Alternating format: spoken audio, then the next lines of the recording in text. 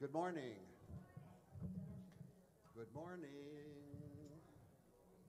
Okay, let's all stand and praise the Lord. all you Test, folks out there.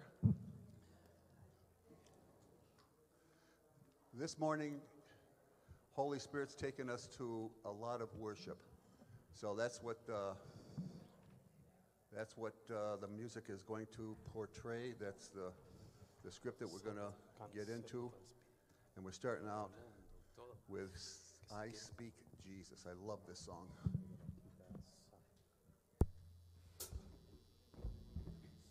Santo, Gloria.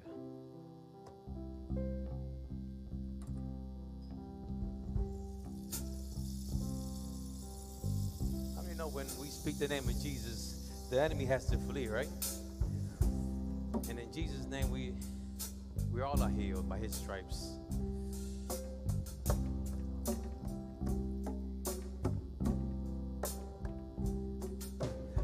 Just want to speak the name of Jesus over every heart and every mind. Cause I know there is peace within His presence. I speak Jesus. Hallelujah. I just want to speak the name of Jesus till every dark addiction starts to break. Declaring there is hope and there is freedom. I speak Jesus.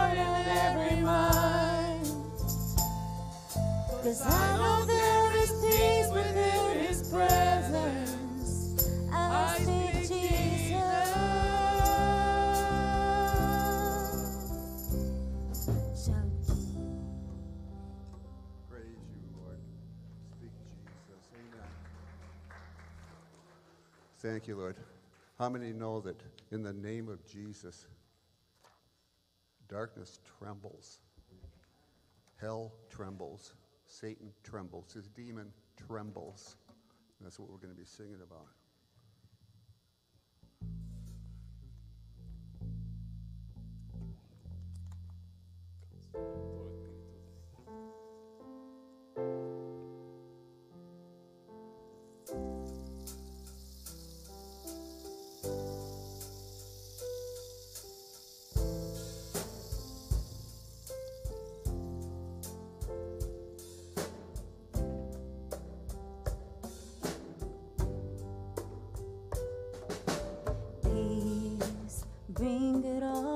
peace.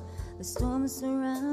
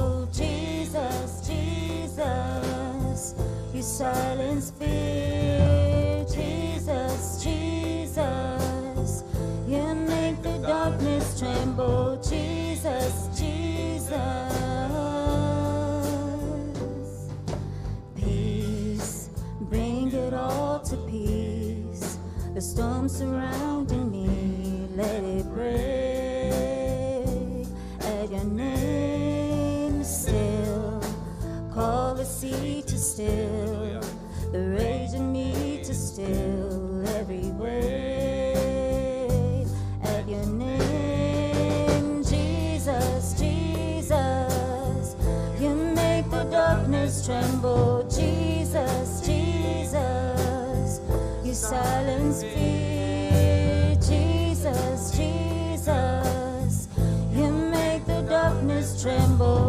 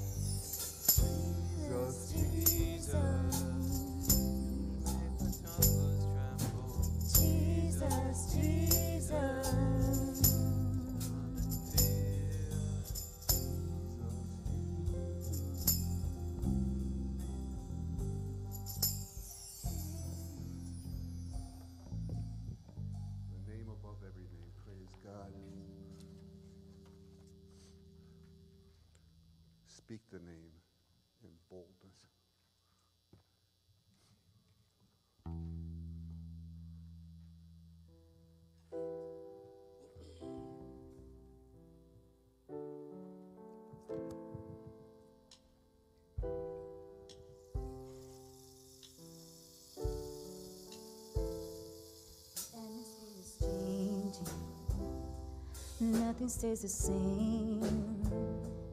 Heaven is waiting for the mention of the name. The spirit is moving, burning like a flame, healing the broken by the one we proclaim. Raise it up, fill the sky. Chains will fall, mountains move, we lift them high.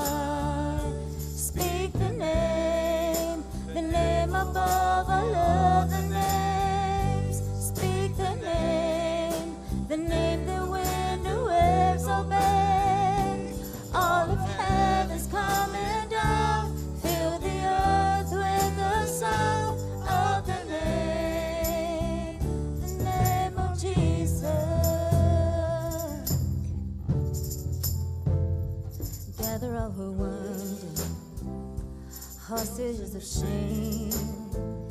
Miracles unfolding at the mention of a name.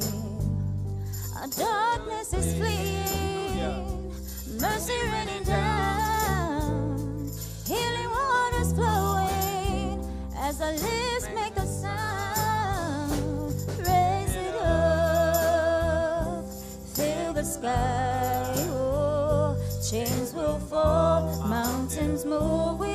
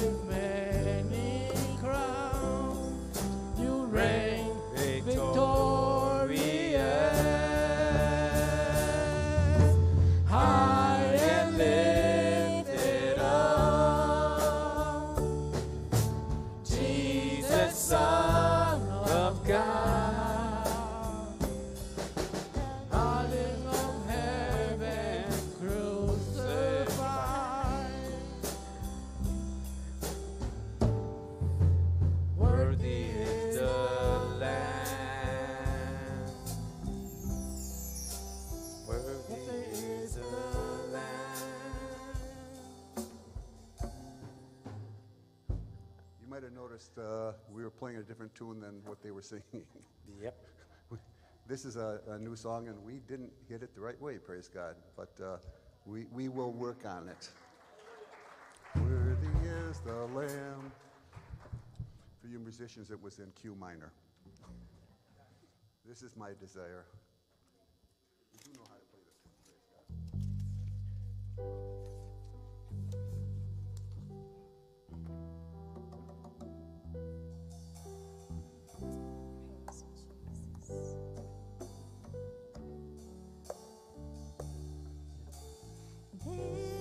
is my desire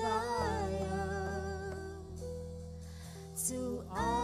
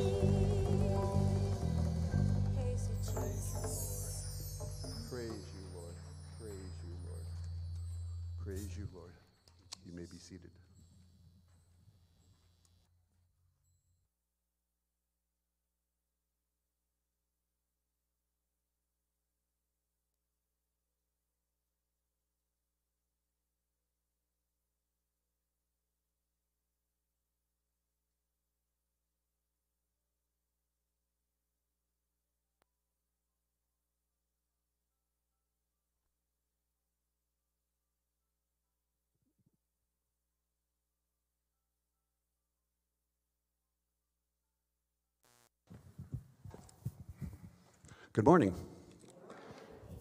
Not bad. Good morning. Praise God. This beautiful last day of April. Hallelujah. Okay, uh, a few announcements, and then we will introduce our guest speaker, a man that I absolutely love. Hallelujah. Okay, um, first of all, new attenders. Anyone here has never been here before? We'd love to say hi. If you just raise your hand, we say hello. How you doing? I'm, and the gentleman back there, how you doing? Welcome. Thank you for coming. Uh, we believe that this isn't an accident. You're here for a reason, praise God. So thank you. And thank you for helping out the crew. we have some guests from uh, uh, Full Gospel Tabernacle, a wonderful uh, church. And uh, our guest speaker, which I will introduce in a moment, is uh, Bishop Reid.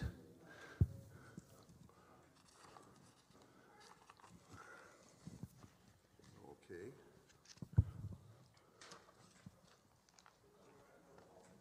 Don't mind me. Hallelujah. Okay, um, first of all, this Wednesday, corporate prayer, uh, 6.30. Uh, great time of prayer, great time coming together and praying for the everything, the nation, the cities, the state, each other, the church, et cetera, et cetera. Wonderful time. Holy Spirit really moves, so it should be a real blessing. Also, uh, today is the last Sunday of the month, so we have Sunday fellowship today in the uh, fellowship room. Uh, uh, not a full lunch, all the good stuff uh, cookies, donuts, et cetera, et cetera. Praise God. So after service, just out there and follow the crowd. Um, also, next week uh, we will be having a jewelry sale and a pastelitos sale. Little Irish English kids saying pastelitos. Uh, hallelujah. Uh, Evelyn, who is uh, Evelyn Gouache, who's setting this up, who is Hispanic, said, "I'm the only one that can turn a Hispanic name sounded like Italian or something." It's, it's Pastor Frank Monteleone's influence on me. Praise God. So anyway, um, there's a jewelry sale. Uh, the proceeds of that are going to go to a, a dear friend uh, who runs a uh, ministry in Kenya, Africa. Um, so we'll have more on that, but uh, that will be uh, next week. And uh, both the jewelry sale and the pastelitos will take place in the fellowship room. And Ms. Danielle, wherever you are.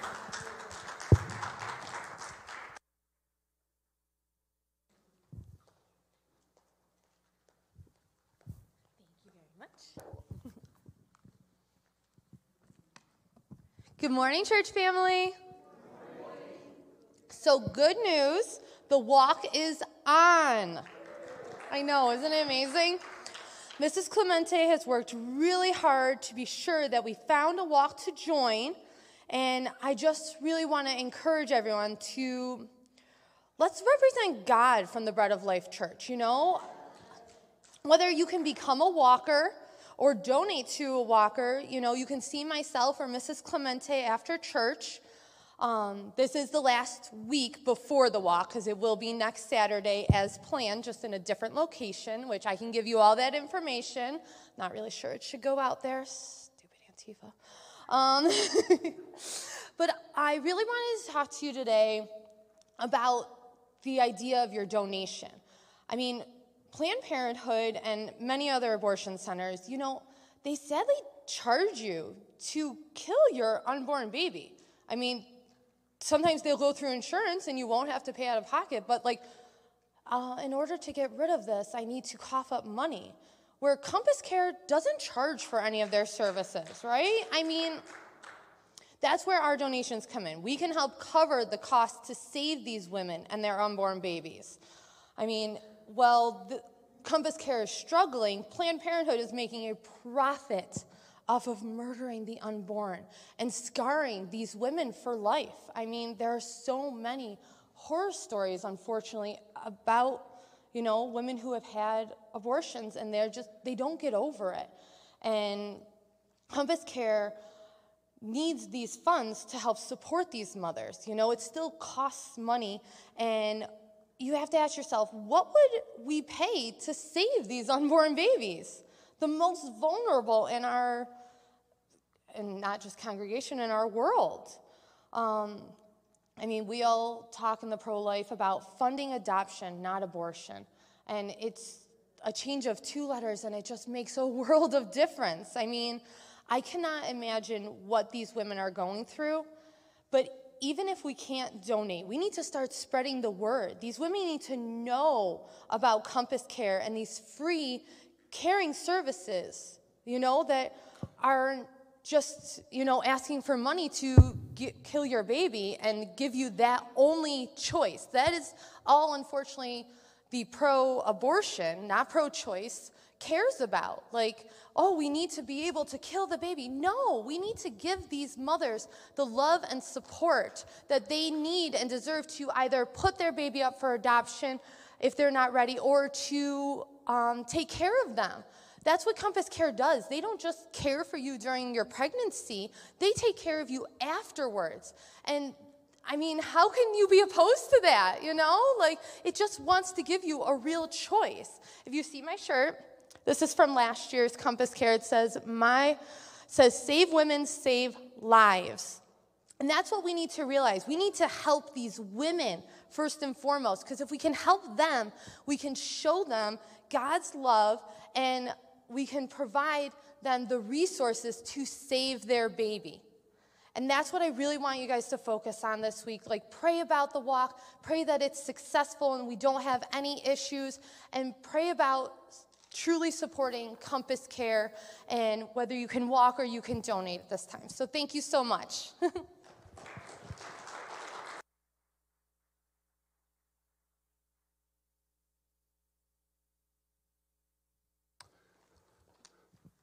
No, I really uh, honor Compass Care. Literally, all hell is breaking against them.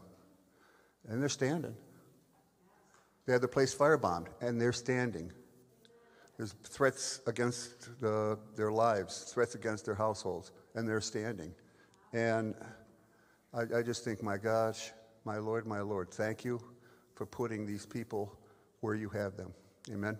Amen. And it is offering time. It's, yes. It's going to be one of two offerings. Uh, the first is for uh, Bread of Life Church, and the second one, uh, give everyone an opportunity to uh, sow into the lives of Bishop and Wanda Reid.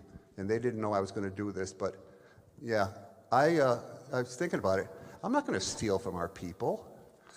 And that's, this is good ground here. God says, You sow, you reap. So I'm sowing. And anyone else that would like to, hallelujah. But it is wonderful ground. Besides, they're nice. Praise God. Pastor Frank. You know, I don't know if how many of you, when you sing the songs, really look at the words as you sing them? Because sometimes we can sing the song and just sing the words without entering in the spirit, but just meditating. And, and some of the things I realized as we received the tithe, we saw the picture of the cross up there. We sang the songs, and these are some of the words You made the darkness trembled, you were victorious. Then it mentioned earthquake. Then all I could see was the cross.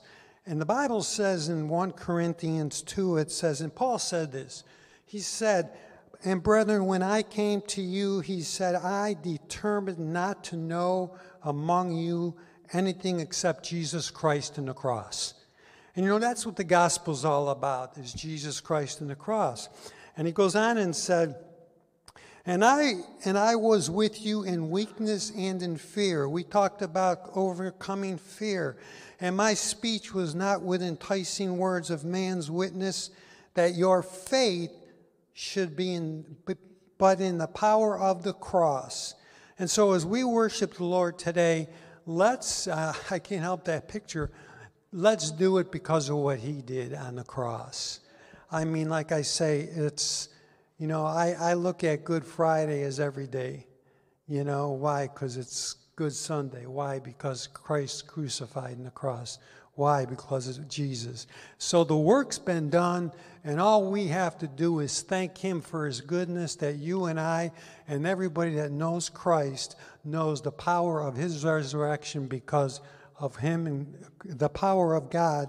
And that's why we need to be determined. Nothing else and Paul said, I boast in nothing but the cross of Jesus Christ. So, Father, we thank you, Lord. You made the darkness tremble on Good Friday, Lord.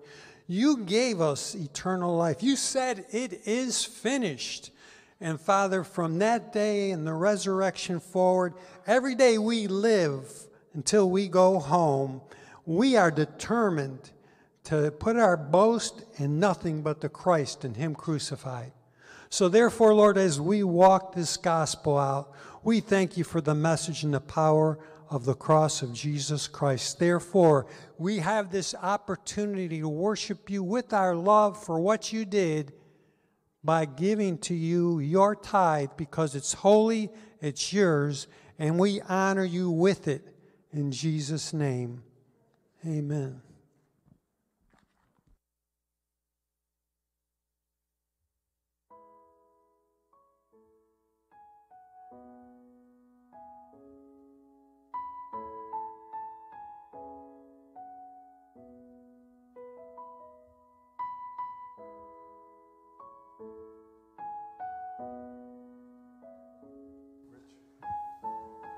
I hadn't planned on doing this, but uh, there was. Uh, praise God. Um, one person that is a new t- attender, never been here before, uh, didn't raise his hand, and he's in the corner right over there. The new addition, uh, Richie Patrick Lungi. If you look, there's a little boy over there. it's uh, Paula and Pat Britzolero's grandson. And he's adorable. He really is. Praise God.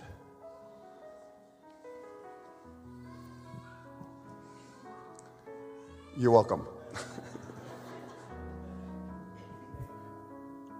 Thank you, Father.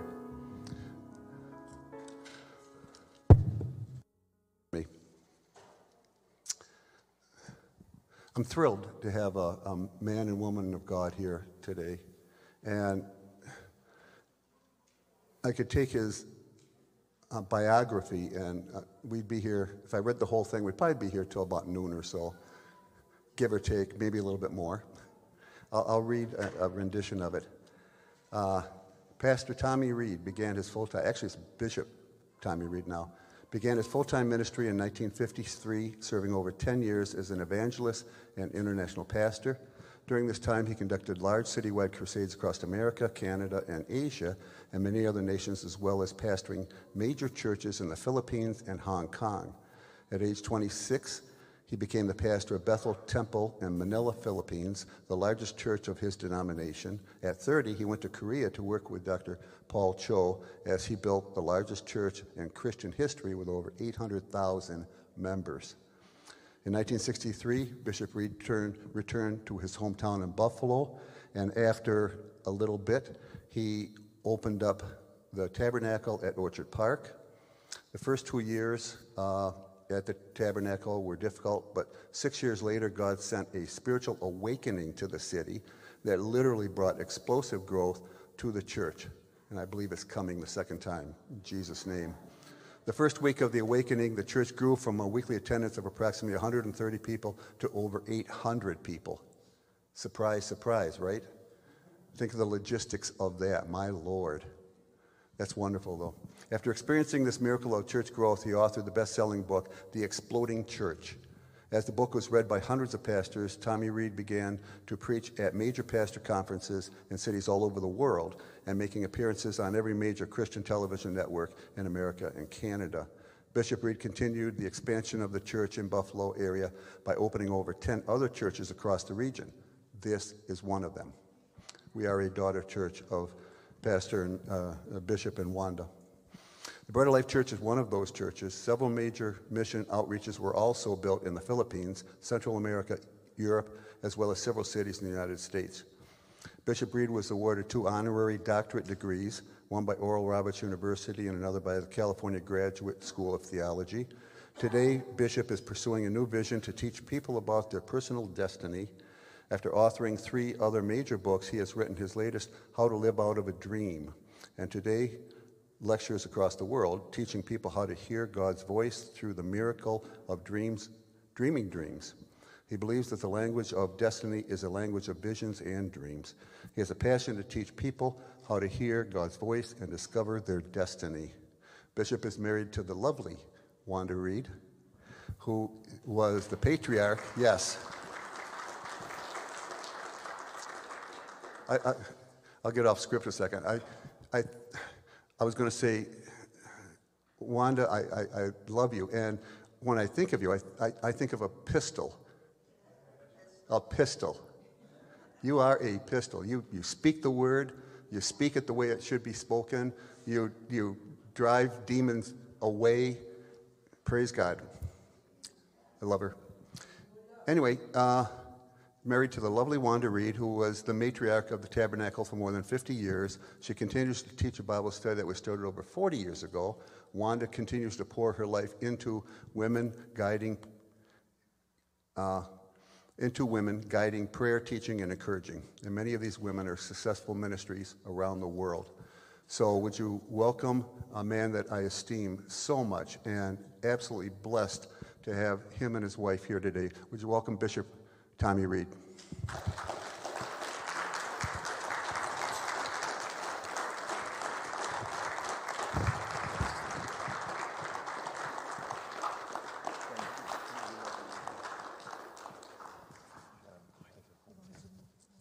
You want, a microphone or a leveler?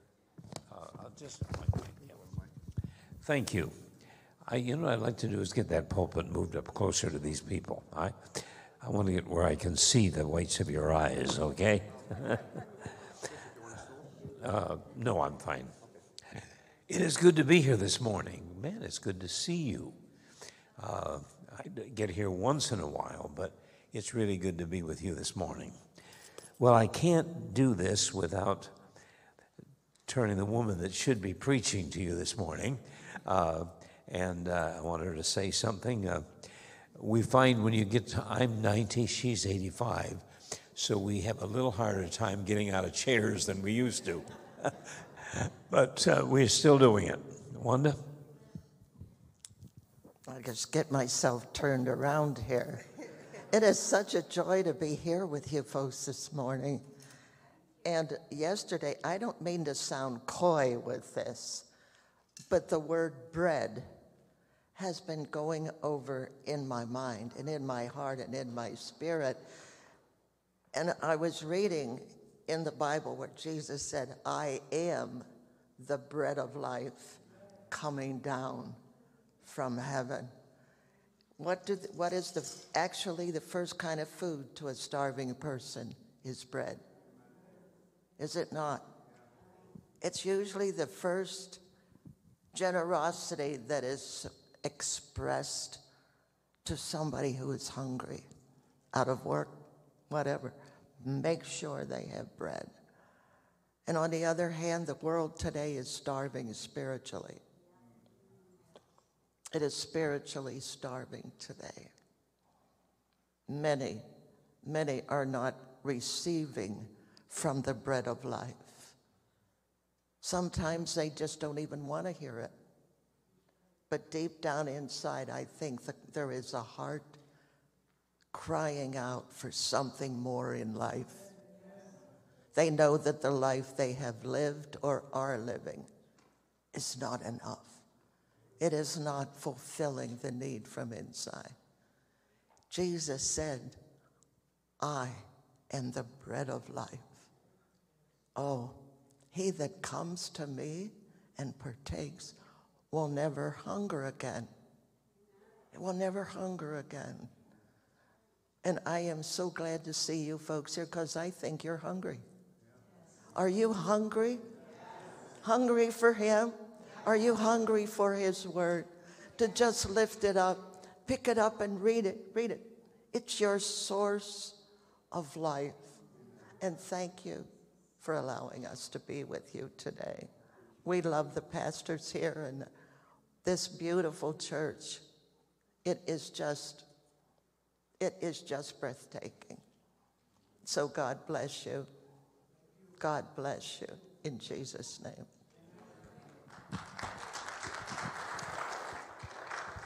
Thank you very much. I have something I'd like to give you, uh, if I could get a couple of ushers.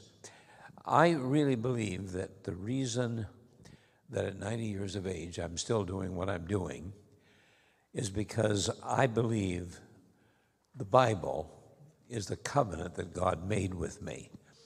And so what I did was took all of the scriptures concerning the covenant that we have for health and healing. Uh, I keep one of these in every one of my Bibles. I keep them on my desk at home because I like every day to take those scriptures out and begin to say, Tommy Reid, you can have health and healing because it's the Word of God. At the same time, I pulled all of the, not all of them, but many of the scriptures concerning the covenant that God made with us for our prosperity. Uh, you know, you hear all kinds of people talking uh, in negative terms about the prosperity gospel. It is a prosperous gospel. I believe God has promised in His covenant. That's what bread of life means. The bread of life is that God is going to covenant with you. When you make a covenant with Him to give your heart to Christ, He makes a covenant with you to prosper you. So I'd like to get a couple of ushers, if you would, just to take those and uh, give one of each of them to everybody. Um, I had those printed especially for occasions like this, where I could say, This is my covenant. This is what I carry with me every place that I go. Uh, I get these brochures out every single day of my life. Uh, let me read to you uh, some of the covenant promises about prosperity. The Lord is with me, and I will prosper you. That's Genesis 39 2.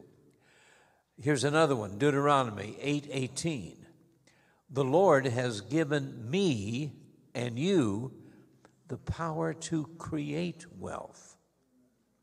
Interesting scripture. Uh, listen to this one. Return to you, stronghold, O prisoners of hope. I like that, prisoners of hope. Prisoners of hope, today I declare that I will restore to you double everything that Satan's called, has stolen from you. That's the prosperity brochure. The uh, covenant of healing brochure, there are some wonderful promises here. Listen to Exodus 15 26. I will put none, none of the diseases upon you, for I am the Lord who heals you. Listen to Exodus 23 I will take away from you the midst of thee, the number of thy days I will fulfill. I'll take sickness away from you, I'll fulfill your days. That's my covenant with you. Deuteronomy chapter 30, verses 19 and 20. I've set before you life and death, blessing and cursing. Therefore, choose life. Uh, and so uh, I just think that you ought to take those two brochures and put them in your Bible and begin to live by them. Lord, we live by faith in the Word of God this morning. As we take another step in our journey of faith, I pray that the next few moments will be a time when we will meet with God and hear His voice. In Jesus' name, amen. Turn with me, if you have your Bibles, to Acts chapter 3, beginning at the first verse. There's some phenomenal words in this story of Peter and John. Here's what it says Now, Peter and John went up together to the temple at the hour of prayer, the ninth hour. And a certain man, lame from his mother's womb, was carried, whom they laid daily at the gate of the temple.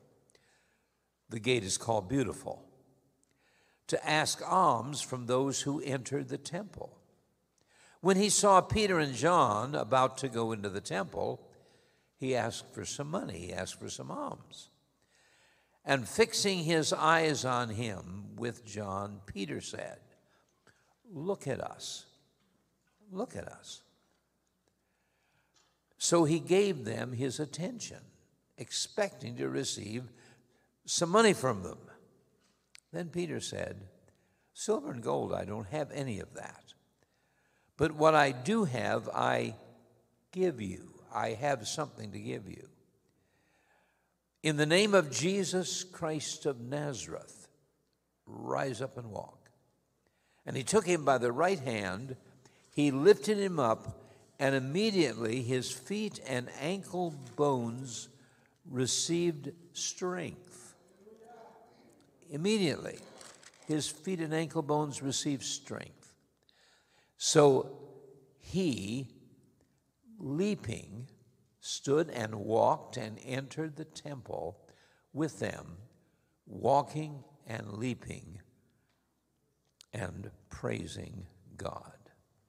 God, take that verse and make it come to life to us today. I want to ask you a question. The question is, how are you? How do you feel? Are you sick? How is your health? If you would ask me that question, I would have to tell you that I am in perfect health.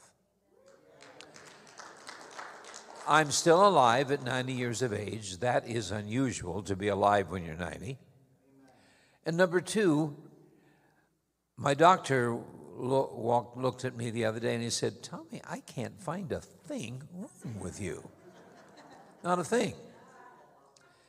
Now, I believe that's a result of a covenant. This book is the covenant that I have with God. I don't know how many promises there are in the world, the Word of God. There are thousands of promises, but many of them are for financial blessing, they are for health, they are for healing. I believe in the healing gospel. I believe in the health gospel. I believe in the prosperity gospel. They are all promises in the Word of God. I want to ask you a question.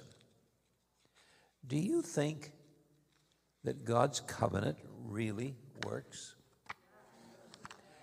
Do you believe that the promises God made to us, this is our book.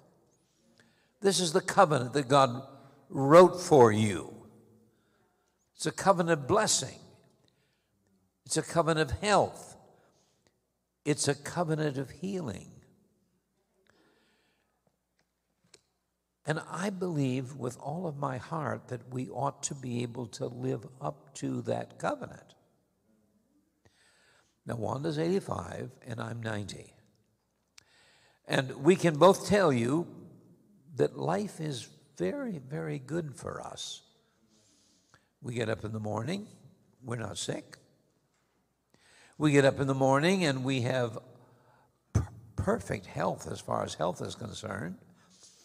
Oh, do maybe we have a few uh, arthritic uh, things? I, I, don't even have that anymore. I, uh, I said, God, I'm tired of that. I, uh, I, I don't like to be creaking here in my bones anymore. This is a covenant that I have with you. The reason I have it is because I believe I live under a covenant. God says it again and again and again in His Word. I am the Lord who heals you. He has promised to bless us. You could quote scripture after scripture after scripture.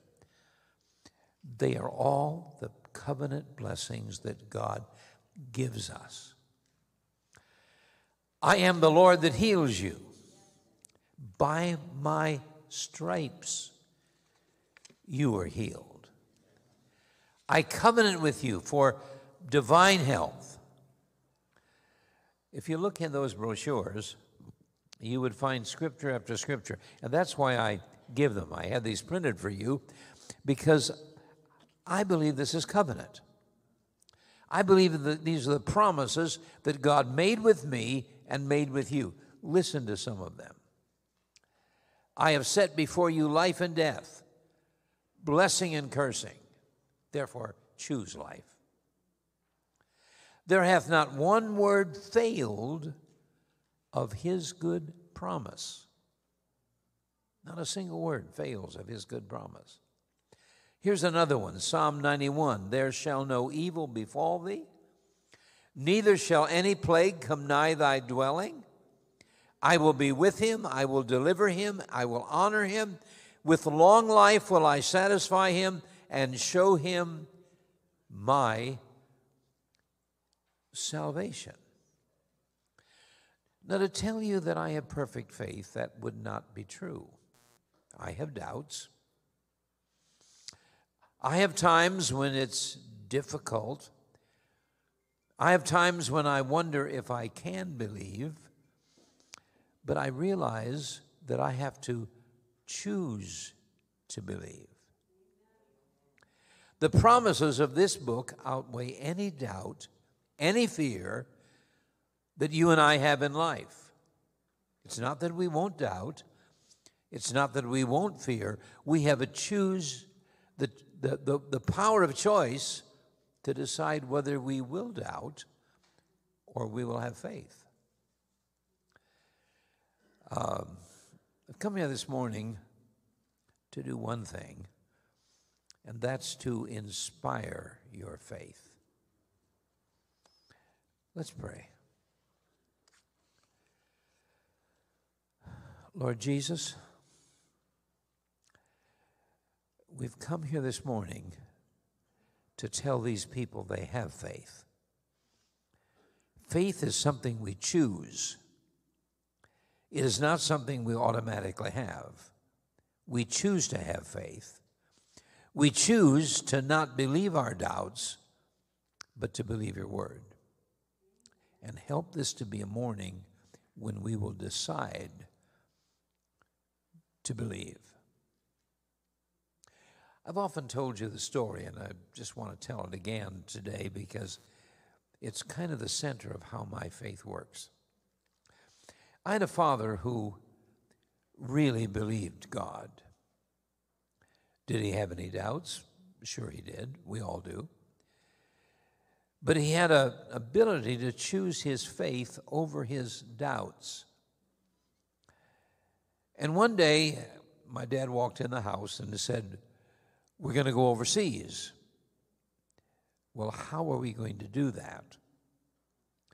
Well, the first thing I realized that very first money that would be invested in buying those tickets was my new car. And I remember when the stoplights, the taillights of that old 54 Cadillac, it wasn't a new one, it was about two years old when we bought it, but it was my pride and joy. They drove out the, the driveway, and I watched uh, Tinny Cadillac, the salesman from Tinny Cadillac, take the car. It was no longer mine. Because faith is something you have to invest in. It's not something you have automatically. It's not something you say, I'm going to believe God. You're going to believe God when they pass the offering plates. That means you have to do something. You're going to have to have faith when you maybe hear somebody on Christian television and, and they tell, talk about orphans someplace, and you have to decide to support one. Because faith is not something you just have by choice. Faith is something you invest in. My dad took all of our money, the sale of our car, everything we had, and invested it in taking a trip to the Philippines. And we got there, and nothing was right. We were invited to hold meetings at the big church in Manila, and suddenly the pastor had a daughter that was getting married in, in the States, and they decided to leave it. So there was no place to preach. Except that one thing happened. There was nobody else in the country that could pastor the church, so they chose us to pastor the church. And suddenly, we had something where all of our needs were met. How do you live by faith? Now, most of you have jobs. Most of you have an income, a fixed income of some kind or other. Maybe you're on retirement. Maybe you're on Social Security. I'll tell you, that's pretty good. Social Security is really taking care of Wanda and me. That is the provision of God. Because if our government didn't prosper, there would be no Social Security. So it is the provision of God. And if I'm here to tell you anything, I'm here to tell you one thing this morning. As a 90 year old that stands before you, I can tell you that no matter how difficult the going gets, no matter how much it seems like you're not going to have enough, no matter how many times it seems like something happens that reverses your status in life and you lose a job or the company closes down or something happens, no matter how many times that happens, it is not a company that's your provision, it's God that's your provision. And if I could tell you anything in life, I can tell you as I stand here today that God has been my source for 90 years of my life. He always has adequate provision. Now, what do we mean by that? What can I do to tell you as I stand in front of this sacred desk this morning that God has a covenant with you? How can I make you believe that? Because the truth is, without that covenant, you wouldn't have anything anyway. Whoever provides your pension has to have money to provide it. That's God's covenant. Whatever company you retired from, that company has to continue to prosper in order to give you your pension. What is that? That's the covenant of God. There's something that God has built in this whole system that has to do with his covenant his covenant ability to provide for us. What do we do with scriptures like, I'm the Lord that healeth thee? Is that covenant? What do we do with a scripture that says, if we ask anything, anything in his name, he'll give it to us? Or the Bible says, if two or three of us agree together, he will honor that agreement and bless us. Does that mean anything to you? What is this? What is this book? This book is the covenant that God made with Tommy Reid and with you. You don't carry your Bible or read your Bible or put your Bible on the, uh, uh, on the table at home and look at that and say, That's my Bible. It is your Bible, but it is also your covenant. That's why when you pick it up and you begin to read these words, and they pop off the pages, the doctors have just given you a diagnosis that something's wrong with your body. Now, granted, that is true, but it's not necessarily truth. Something being true doesn't mean it's truth. Something being true, it means it exists. But there's something else that exists, and it's the covenant of this book. And I can tell you, as a 90 year old, it has always worked for us. I remember, and I think I've told you this story before. I remember the day that we took off for the Philippines. One way ticket, no way to get home. We got there and everything went wrong.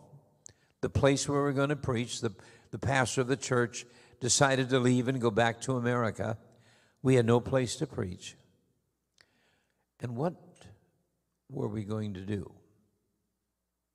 In the midst of that, my dad contracted some kind of a uh, of a fever or some kind of a something from uh, the, uh, the the country in which we were living in, the Philippines, and uh, basically he was dying. I'll never forget the day when I walked into his room, and we had, I think, two hotel rooms in the Filipinas Hotel I walked into his room and I looked at a dying man. He looked up at me and he said, Tommy, today's the day. I said, What's the day? Oh, the day God's going to heal me. I looked at him and said, Yeah, that doesn't look like it's going to happen the way you look. And uh, he said, The first thing that's going to happen, in 30 minutes, that telephone's going to ring.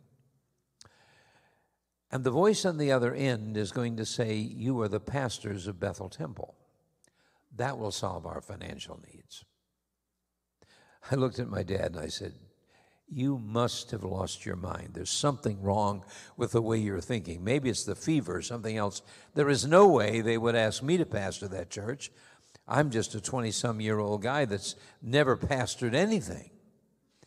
And I said to my daddy, You've never pastored a church before. They're not going to give us the largest church in the denomination. That would never happen. He said, Tommy, the phone is going to ring, and we're going to be the pastors of Bethel Temple. 30 minutes later, the phone rang, and we were informed that we were the new pastors of Bethel Temple. Totally illogical. No reason we should have been chosen. I can tell you, the church had its greatest growth in its history in the years we pastored it. God is a covenant keeping God. And I didn't come here, I got some notes, I'm not even looking at them because I knew I wasn't going to use them anyway. So I, I just knew I had to give you a testimony this morning. The testimony is that at 90 years of age, I have lived my life within the confines of a covenant. I get up in the morning, I've got a covenant. I go to bed at night, I've got a covenant. And I want to tell you one other thing about the covenant of God it absolutely works. It's better than a pension from the largest institution in America. That could go under. God never goes under. There's nothing you can do to ever exhaust the resources of God. I'll never forget the day my dad looked up at me and we knew he had hours to live. And he said, Tommy, I don't have anything to leave you. I'm going to go to heaven. Uh, really, what I have needs to go to your stepmother because she's taken care of your dad, as you know, for over 20 years. And so I've got to leave everything I have to her. There will be a $500 check in my will for you. Buy yourself something nice, but that's all I can leave you, except for one thing. You know that your dad has always had the power to create wealth. I've always lived by faith. And he took me by the hand and said, I leave you that inheritance. You will always have the ability to know that I am the source of all things, not your father, not a will, not an estate, but God is your source. And if I could tell you anything this morning, I would tell you that. No matter where you are, and maybe you're going through some financial difficulties, maybe you're going through a sickness. Do you know how great God really is? Do you really know that? Do you really know that you can trust Him? You're not talking about a man. You're talking about a God who spoke the universe into existence.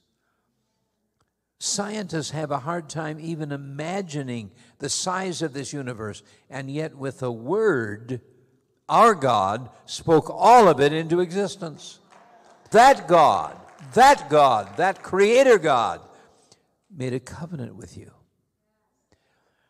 And it has more value than any will, even if your parents or your the people that that raised you or, or birthed you would be multimillionaires. They would have limited supply compared to the supply of your Heavenly Father.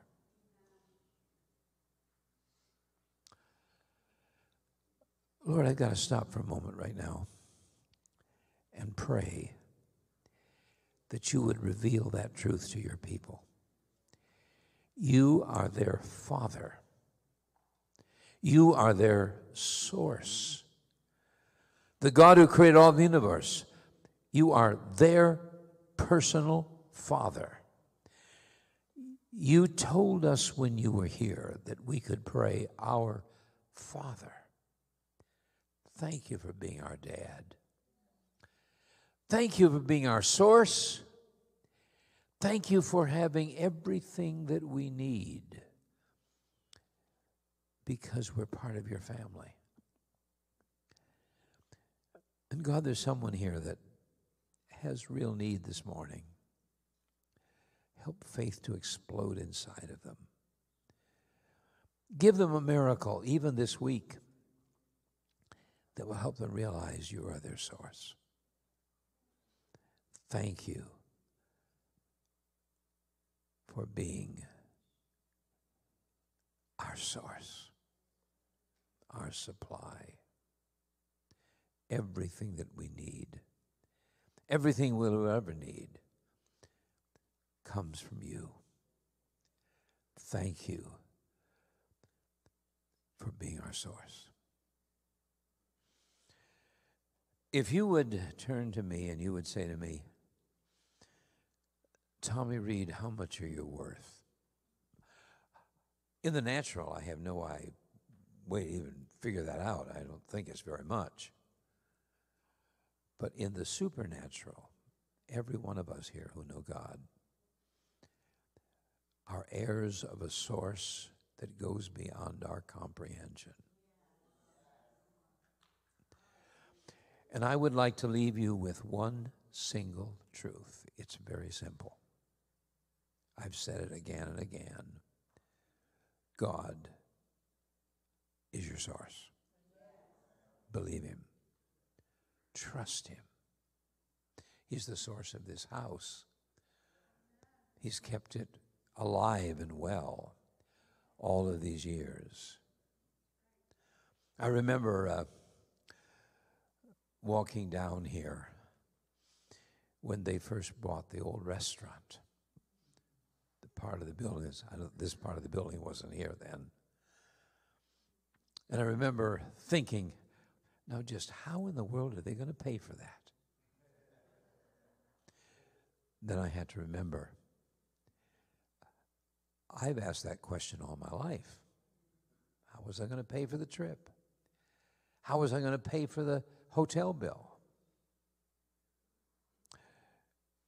We were in Manila and everything went wrong. My dad got sick, the meetings closed, we had no place to go. We ended up in the Filipinas hotel running this huge hotel bill.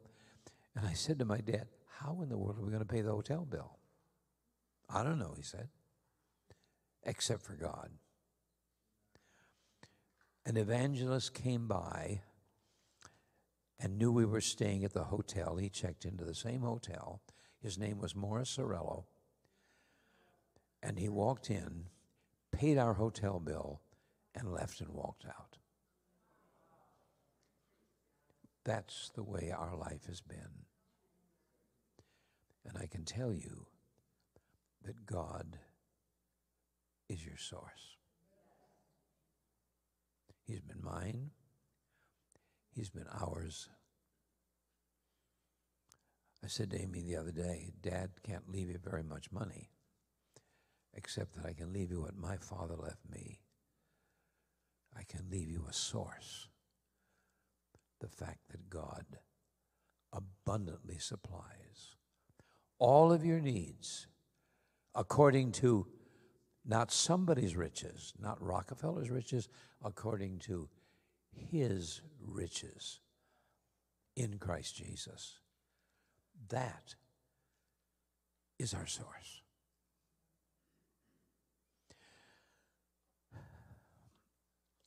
Lord, I take just a moment pause.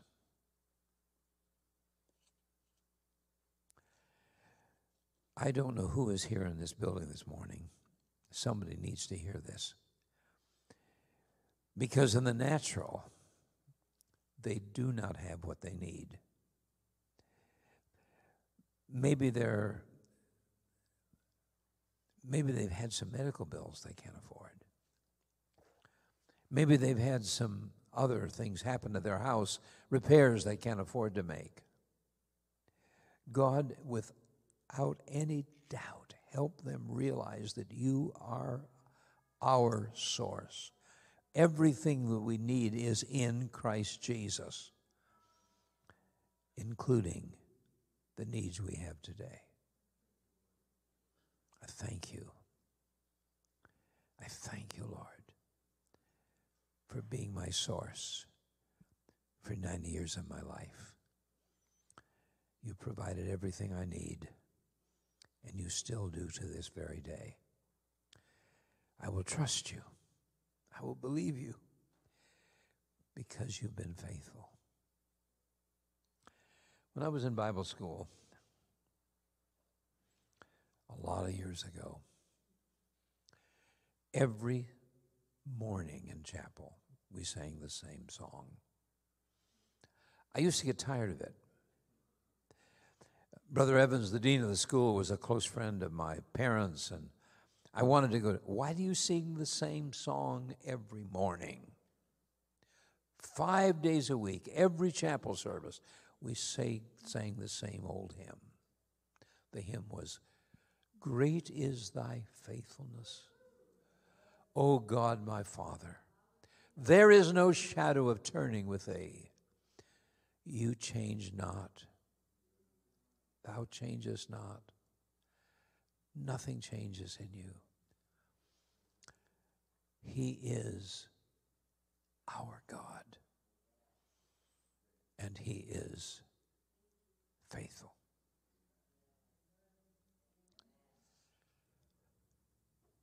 Lord, I've come to the end of what you told me to say. It wasn't a great sermon. It was just an old man that has lived for you all of his life, taught by his parents that God is faithful. He's found him faithful all of his life. You provided for him for 90 years. You will provide for how many more years he has. Because you are a faithful God. Help us to walk out of this building relying on your faithfulness, we pray. Relying on your faithfulness. In Jesus' name. I had to uh, put those brochures to give you because if I could advise you anything, is live by the truth and the concepts of the Word of God. One brochure is for your prosperity, the other is for your healing and your health. Uh,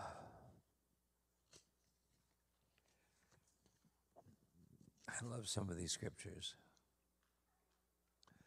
Nehemiah chapter 2, verse 20. The God of heaven will make us prosper.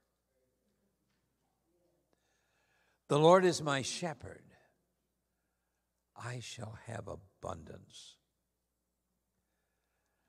The blessing of the Lord shall make me rich, and there will be no sorrow added to it.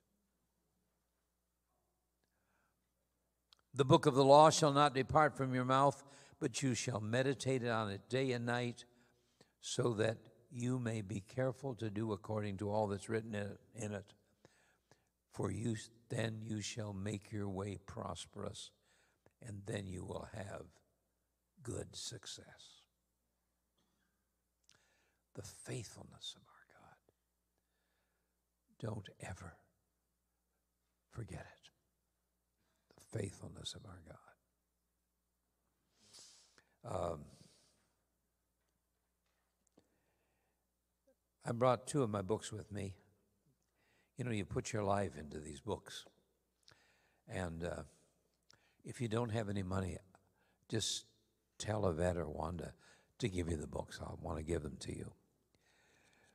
Two books really are my life story How to Live Out of a Dream. That God put in my heart a stuttering, stammering, shy little boy. Remember the day when one of the leading pastors in America were our home. I was in my bedroom. And uh, that pastor's wife and my mother were walking by my door. And I heard that pastor's wife say to my mother, Sister Reid, please don't ever tell your son he's going to preach. He's too shy. He stutters. He can never do it. And I heard her say it. The next morning, I said to my mother, I heard what she said. I heard what Charlotte said. And I know she's your friend. And my mother looked at me and said, Tommy, that's a lie. You will because of his promise. How to Live Out of a Dream is that story of a little boy that, and the, the other radical revolution is the story of the revolution that God wants to do in your life taken out of the of the Beatitudes. And uh, if you don't have any money, we'll give them to you. If you do have money, there's ten dollars a piece. They should sell for about uh, eighteen dollars each, but you can have them for ten dollars a piece. God, be with these people this morning. Help them to know the God that I've learned to know over all these years the God that's been so good to me, provided my cars, my houses, everything that I've had, most of all, my health, Wanda's health. We've lived by this covenant. And Lord, we're here to testify that the covenant you made with us in this book, our Bible, is really true. And may we read it and devour it as God's individual promise directed to us that you are the Lord who heals us, that by your stripes we are healed, that you provide for us out of your covenant. In Jesus' name we pray. Amen. Pastor, I didn't even preach, I just had to talk to these people for a minute.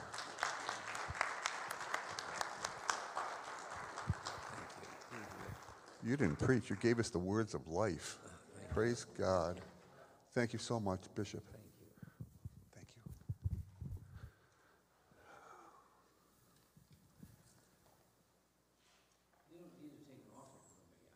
We're going to. I know. Please, please allow us to. Please. Ooh, that was good. Praise you, Lord. Um, I'm kind of at a loss for words. All I can say is, you know what? This congregation knows God's word. You know, he says, if you sow abundantly, you reap abundantly. Why? To bless you and to bless everyone around you. And some people might think, oh, another offering, I got to give. This is an opportunity, man. This is such an opportunity to shed uh, and share and sow into the lives of two wonderful people of God. And uh, I just encourage you. Um, a thought just come through my head. Uh, okay, Lord, do I share that one? What came through my head is, you don't sow into this. You're dumb as a goat. You really are. Because it is good ground. It's an opportunity to bless. And, you know, at 85 and 90, these folks still go to different churches and share God's word, God's wisdom. Um, it's, it's, I'll just share this with you, Bishop. Um, it's not surprising of what you taught because uh, Holy Spirit had us start a series on covenant two weeks ago. I taught two weeks ago. Pastor Frank taught on covenant last week. You're teaching on covenant this week, and I'm going to teach on covenant next week. So, God's script. God's script. So, Father, I thank you. I thank you for these wonderful, wonderful people of God, patriarchs of the faith. I thank you, Father, that you honored us, you blessed us with the wisdom that you have through Bishop. And Father, I just pray over this offering, Father, that as we sow, we know it goes into good ground, Father. And we just just pray for a multiplication of that so that they can take this and sow this exactly where you want them to sow so that we get double blessings and triple blessings and quadruple blessings. And we thank you for that, Lord. In Jesus' name, amen. If you're making out a check, make it out to the Bread of Life Church. What we will do is gather everything and write one big check. Amen? Ushers?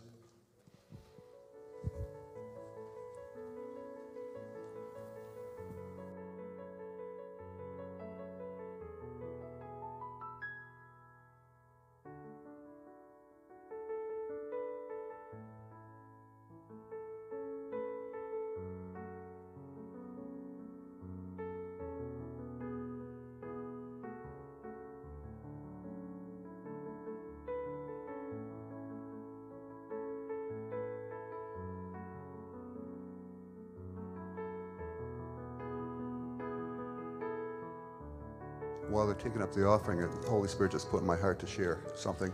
We have the honor of meeting with them on Thursday mornings at times, the pastor's prayer. And um, this might be your next book, I don't know. Pastor started sharing. We in North America pray, but it's like secondhand or third. It's, it's something over here. It's not main.